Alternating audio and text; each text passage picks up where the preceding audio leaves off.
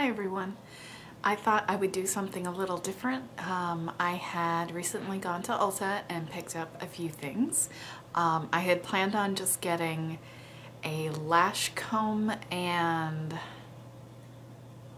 a brow pencil, but then I just felt like I needed to find this really nice taupe eyeshadow and I ended up buying the Urban Decay Naked 2 palette.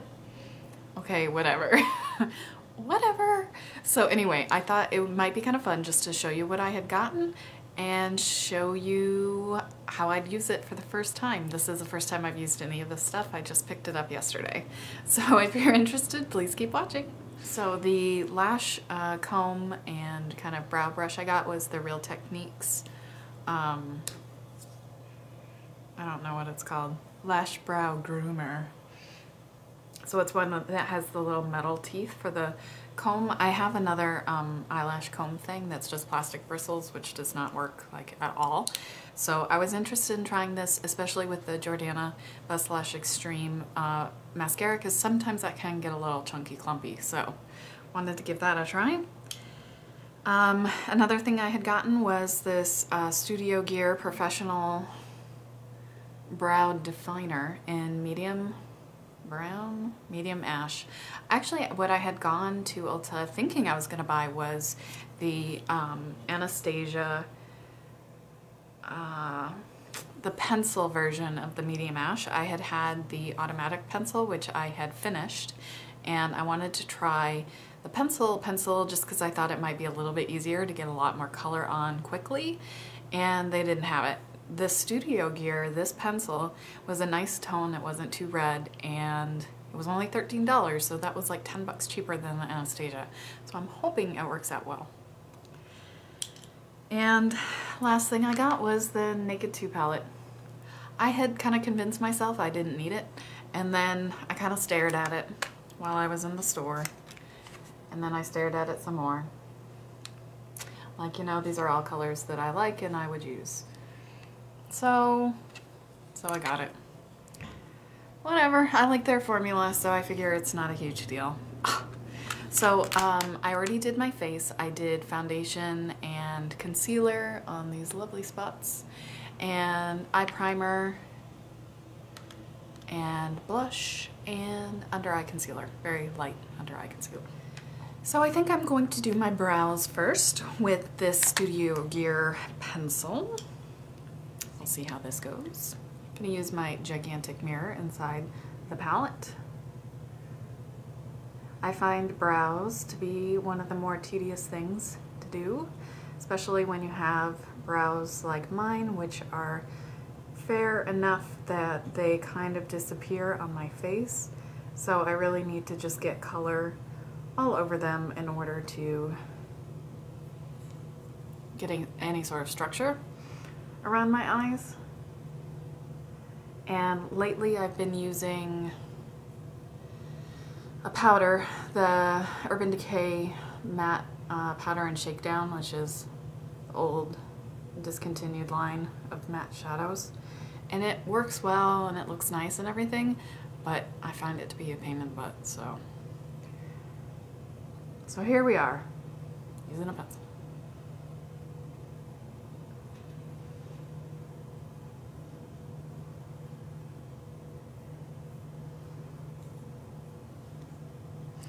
So even though I could probably do a blonde pencil, I find that the more, the darker tone, since my hair is kind of that medium brown, um, that is sort of like the color that my brows are, but just not solid, opaque. I don't know. I think it looks best. Who knows? Maybe I'll change. I just, I really don't like a red toned brow color for me. I find it goes super, super warm and looks very unnatural. Because while I do have warm tones in my hair, I have uh, natural uh, blonde and red highlights, um, overall I think that ultra warm brow just, it seems out of place. Because overall the brown isn't terribly warm. Okay, that looks good. Good enough at least. So I'm just gonna brush through my brows gently with the brow end of my new little doohickey. I'm not needing to blend all that much just because it doesn't seem too crazy and opaque.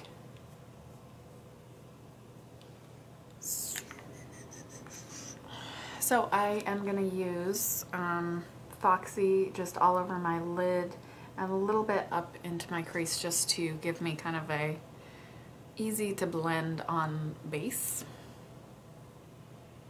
Because, you know, sometimes when you put um, the color, the, your main color, like right over a primer, um, it can be a little tough to blend since it's a little sticky. That's my experience at least. Um, next, I'm going to use, I think I'll use Pistol, which is more of a grayish taupe. Sure, I'll use that on the lid with the more flat brush side.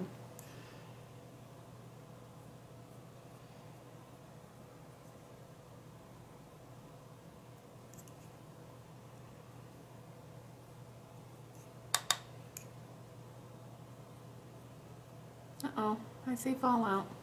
Damn it. Gonna try to be careful about that since I already did my foundation and concealer and all that jazz. This is a pretty color. I like that it's not too metallic.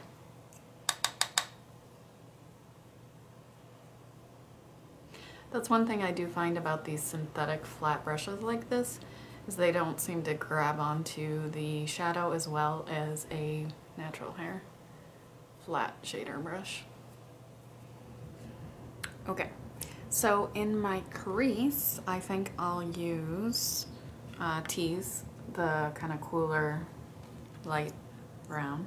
And I'm gonna use the more blending side. We'll see how that goes. It's kind of big. I'll try to be a little less haphazard about applying it. This kind of reminds me of the color of hot chocolate.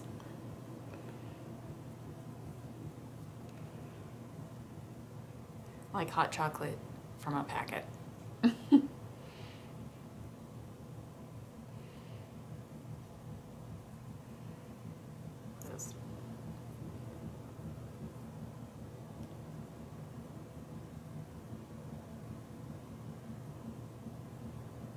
bit, I think I'll use a little bit of this busted color um, more in the outer corner area with the flat side of the shader brush.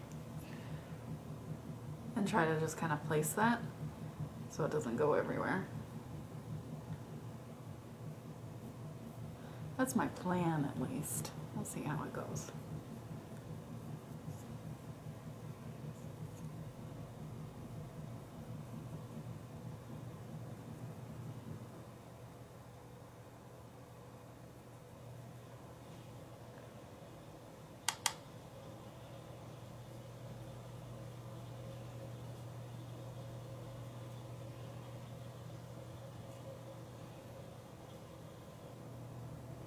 I think I might go in with the blending brush, try to make this look a little smoother.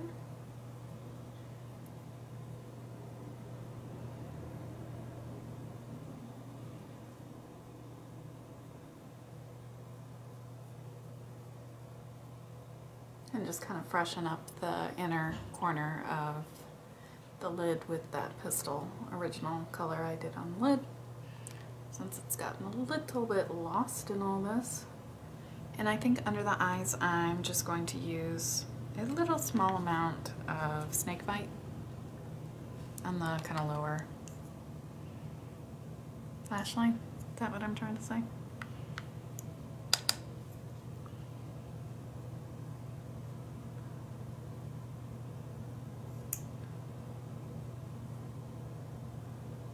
Alright, and last thing I'm going to use is Booty Call on my brow bone to give a nice shimmery highlight.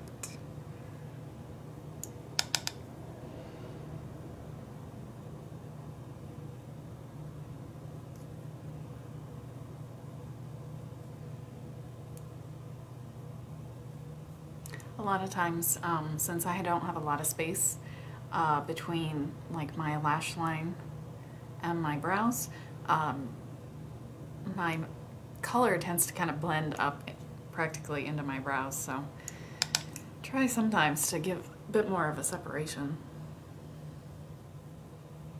And I might as well just use that on my inner corner too.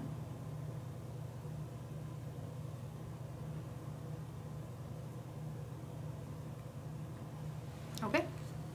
I'll just go ahead and put a little bit of the lip gloss on and this is that Lip Junkie. It cools and plumps it says. It has a very nice minty taste to it. I have tried this out yesterday and it's in the shade Naked. What a surprise. I do think it's kind of a nice little sample size though. It makes it feel not so cheap because it's got this kind of cool lid on it.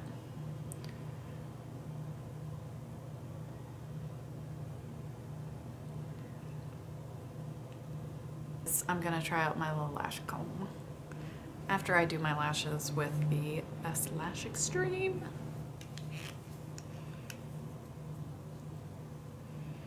So I find kind of swirling around the brush in the tube um, can help keep it from getting really gloppy on the brush. But since the um, the uh, hole is fairly big in this tube, it can get really, really gunky at the top and on the brush. It does help when it's warmer. I know that it tends to get really stiff. Um, we keep the house during the winter at um, like 64 during the night, so um, it does get a little stiff. But it's been sitting in my lap, so it's warm. anyway, anyway.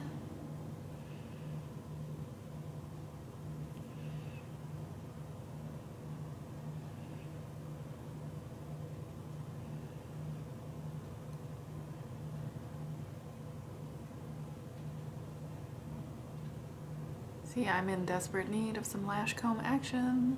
Look how gloppy that is. Mm.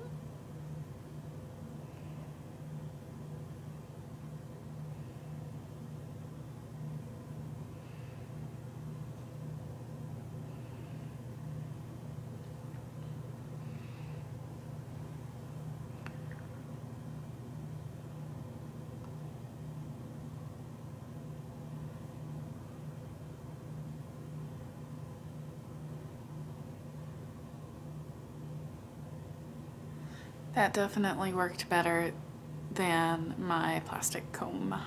So that's my finished look with my new stuff that I got. Um, my Real Techniques brow groomer, lash and brow groomer, the Studio Gear um, pencil in medium ash for my brows, the little sample of the Lip Junkie Urban Decay gloss in Naked, and my Naked 2 palette done all with the double-ended brush that came in the palette. so um, let me know. I'm sure just about everyone has this palette, so you know, if you do, awesome. if you uh, have any favorites uh, shadow-wise in the palette, let me know. Um, and uh, yeah, I'd be interested to find out if anybody has used the Studio Gear pencil and what they think about it. I First impression is good. I really like it. I think it's a nice color. It's um, not too dark and it doesn't seem to have um, much for red tones in it, which I love. So thanks for watching and I'll see you soon, guys.